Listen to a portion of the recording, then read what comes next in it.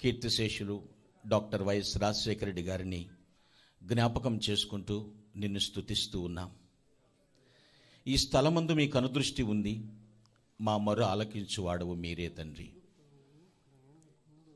ఈ యొక్క ప్రశస్త దినమున మీ సంగతులు మాకు తెలియచేయండి. ఈ కార్యక్రమం ద్వారా మీరు మహిమ పొందమని ప్రార్థిస్తూ ఉన్నాను. కీర్తన ద్వారా వాక్య మీరే మహిమ పొంది మీ వాక్కులు మాకు వినిపించి నీ శుభకరమైన ఆశీస్సులతో మమ్మల్ని పంపించుమని. క్రీస్తు పేరట ప్రార్థన చేసి ప్రారంభించుకుంటున్నాము తండ్రి. ఆమెన్. దేవుని వాక్యాన్ని చదువుకుందాం. ఈ సందర్భానికి సిద్ధపరిచిన వాక్యము లూకా శుభవార్త మొదటి అధ్యాయము పదిహేడు వచ్చినాన్ని చదువుతున్నాను. శ్రద్ధగా ఆలకించమనవి లూకా వన్ సెవెంటీన్. అతడు తండ్రుల హృదయములను పిల్లల తట్టునకును అవిధేయులను నీతిమంతుల జ్ఞానమును అనుసరించుటకును త్రిప్పి ప్రభువు కొరకు ఆయత్తపడియున్న ప్రజలను సిద్ధపరచుటకై ఏలియా యొక్క ఆత్మయు శక్తియు గలవాడై ఆయనకు ముందుగా వెళ్ళును. గనుక నీకు సంతోషమును మహా ఆనందమును కలుగును. అతడు పుట్టినందున అనేకులు సంతోషింతురనెను.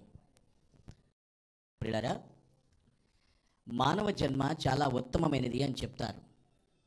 ఎంతో పుణ్యం చేసుకుంటే తప్ప మానవ జన్మ దక్కదు అని కూడా మాట్లాడుతూ ఉంటారు. దేవుని మహాకృప వలన ఇక్కడ బాప్తిస్మమిచ్చి యోహాను గురించి వ్రాయబడినటువంటి మాట ప్రవచనం.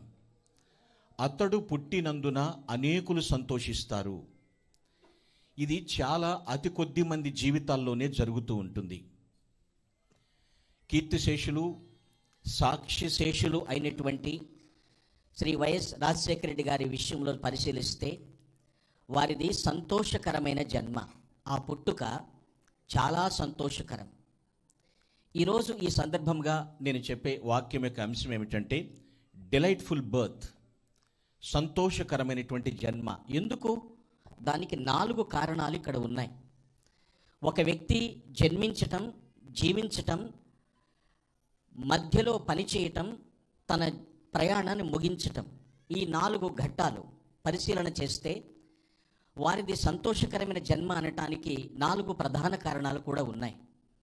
మొదటి కారణం ఏమిటంటే అక్కడ ప్రభువు మొదటి మొదటిగా వారు దేవుణ్ణి కలిగి జీవించారు.